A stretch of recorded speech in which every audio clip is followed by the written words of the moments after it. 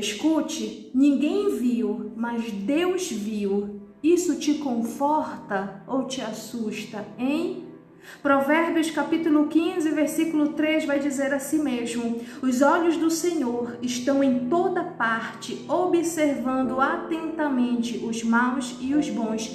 Ninguém viu as tuas dores. Muitas pessoas podem não terem visto o teu sofrimento e tem dias que a gente realmente acha que ninguém viu ninguém nos notou, ninguém percebeu que a gente estava precisando de uma ajuda, de uma palavra, mas Deus viu e Ele manda te dizer que é Ele quem vai te honrar, é Ele quem vai mudar a tua história, é Ele quem vai tirar você dessa situação. Você não precisa que alguém tenha visto quando Deus já viu tudo o que você passou. Ele diz a você: descansa, porque a honra está chegando para mudar a tua vida. Se você crer, toma